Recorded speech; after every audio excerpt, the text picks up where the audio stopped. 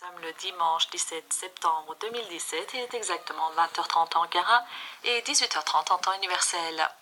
Mesdames et messieurs, nous sommes heureux de vous retrouver sur les ondes de la radio La Voix de la Turquie, émettant dans la bande des 31 mètres sur 9635 kHz vers l'Europe, dans celle des 25 mètres sur 11615 kHz vers l'Afrique du Nord et dans celle des 41 mètres sur 7360 kHz vers l'Afrique centrale et orientale. Pour nos émissions via satellite, Turksat 4A polarisation verticale sur la fréquence 11919, Turksat 3A polarisation horizontale sur la fréquence 11958, Eutelsat 13E polarisation horizontale sur la fréquence 12015 et Galaxy 19 polarisation verticale sur la fréquence 11960. Chers auditeurs, notre émission de ce soir vous sera présentée par moi-même Meta ainsi que notre technicienne Salgul. Nos programmes de la soirée sont le Moyen-Orient et la Turquie, le monde turc et francophone et la question du mois.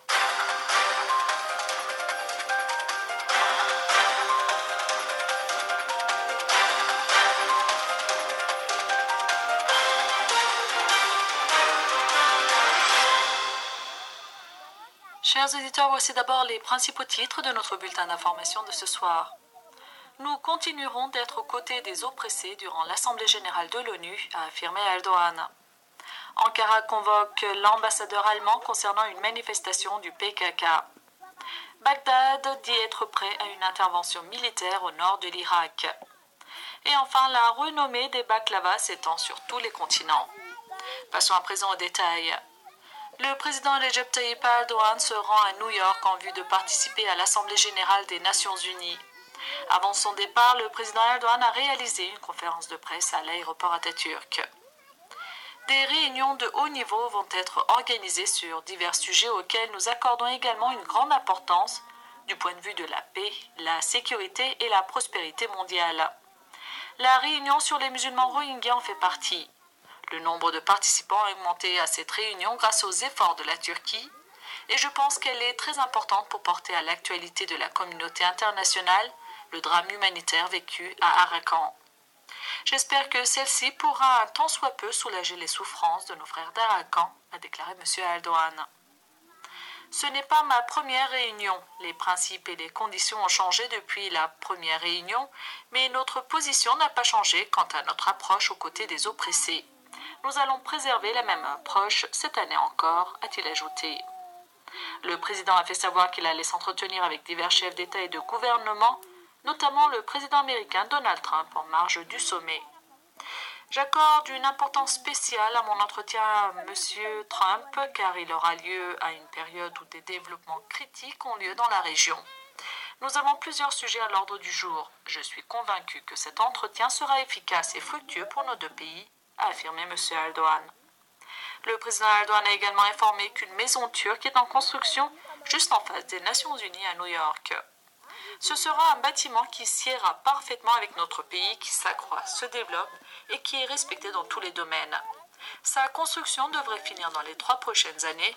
Ce sera un espace de service qui conviendra à la renommée de notre pays du fait qu'il se trouve dans une zone animée, juste en face du bâtiment des Nations Unies, a conclu M. Erdogan. Dans un communiqué du ministère des Affaires étrangères, la Turquie a vivement condamné l'autorisation donnée à l'organisation d'un événement par les antennes en Allemagne du groupe terroriste PKK et leur propagande de la terreur samedi à Cologne, dans l'ouest de l'Allemagne.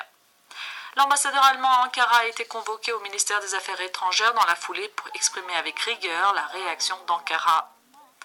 Alors que cela est interdit par la législation allemande, les autorités allemandes ont permis que des symboles de l'organisation terroriste PKK et des posters de son chef Öcalan soient brandis et que des messages d'un des soi-disant responsables du PKK louant le terrorisme soient lus durant la manifestation, a critiqué le ministère se disant effrayé par l'approche de deux poids deux mesures de l'Allemagne dans la lutte globale contre le terrorisme. Nous invitons l'Allemagne à faire montre d'une approche de principe contre toutes les formes de terrorisme, a-t-il ajouté.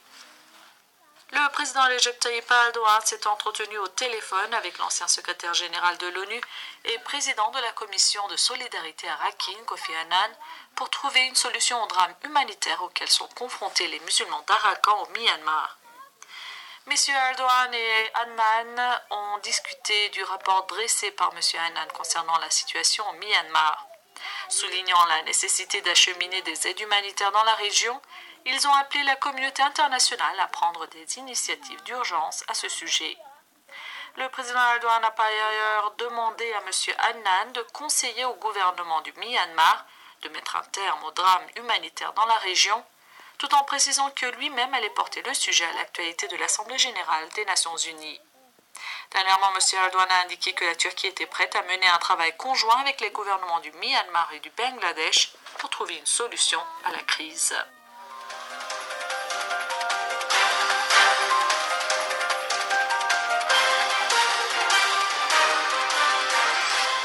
Continuons à vous présenter les informations en français sur les ondes de la TRT Radio La Voix de la Turquie. Le Premier ministre turc Binali Yıldırım a déclaré samedi que le référendum prévu par l'administration régionale kurde d'Irak était une question de sécurité nationale pour son pays. Yıldırım a ajouté qu'il n'y avait aucun doute que son gouvernement allait prendre toutes les mesures nécessaires à cet égard, ont rapporté Anadolu des sources de son cabinet. Vendredi, le président turc Recep Tayyip Erdogan avait critiqué les déclarations de Massoud Barzani sur le référendum. Barzani sait très bien ce que nous pensons à ce sujet. Ces déclarations sont, selon moi, erronées, car il connaît très bien notre sensibilité au sujet de l'unité territoriale de l'Irak, a asséné le président turc lors d'une interview à Istanbul diffusée par plusieurs chaînes turques. Le président turc a précisé que le Conseil de sécurité nationale, initialement prévu pour le 27 septembre, avait été avancé au 22 septembre afin de pouvoir marquer la position de la Turquie de façon ferme sur cette question.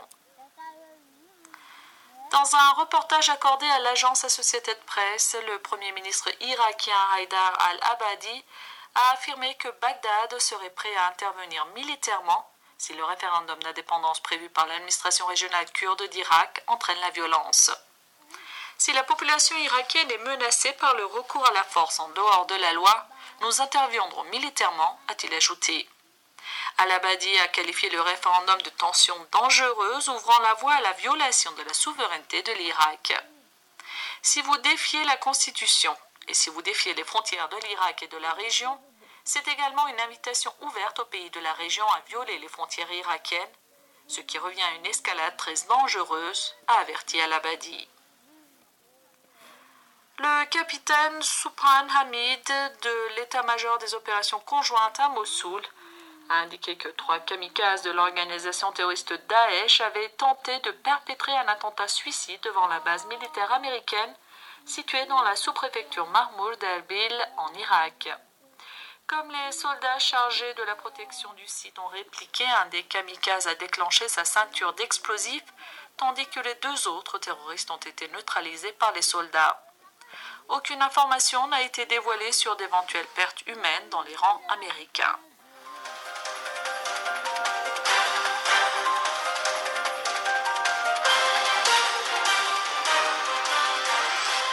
Continuons à vous présenter les informations en français sur les ondes de la TRT Radio La Voix de la Turquie. Alors que la menace terroriste plane toujours sur la France, les autorités françaises mettent en garde contre de possibles projets de déraillement de trains et d'empoisonnement de nourriture, ont révélé samedi les médias français. Cette révélation a été faite au lendemain de l'attaque au couteau contre un militaire de l'opération Sentinelle antiterroriste dans le centre de Paris, sans lui causer de blessures, et de l'attentat revendiqué par Daesh perpétré dans le métro de Londres qui a fait 30 blessés, selon le dernier bilan publié samedi par les services de santé britanniques. D'après une note confidentielle de cette page rédigée par la Direction générale de la police nationale des GPN au début du mois de septembre et dévoilée samedi par le quotidien Le Parisien, les autorités s'inquiètent d'une incitation récente de la propagande terroriste à planifier un déraillement de train. Une attention particulière doit être accordée à toute remontée d'informations relatives à une intrusion ou une tentative de sabotage dans les emprises dédiées à la circulation des trains, indique la note.